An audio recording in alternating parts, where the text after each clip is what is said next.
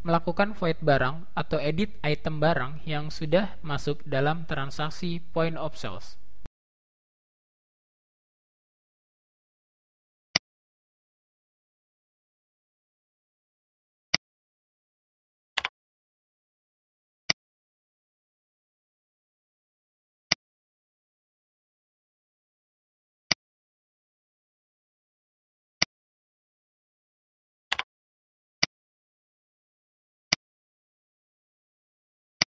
Jika terdapat kesalahan dalam penginputan transaksi pada Zahir Sale, kita bisa merubahnya dengan mengklik option F4 atau void barang.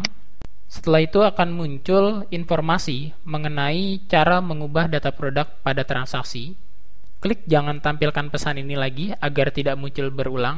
Klik OK. Pilih data produk yang ingin Anda rubah, lalu tekan Enter. Klik tombol F2 untuk mengubah transaksi.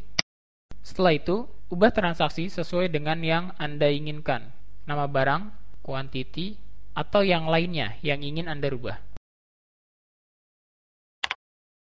Jika sudah, klik OK.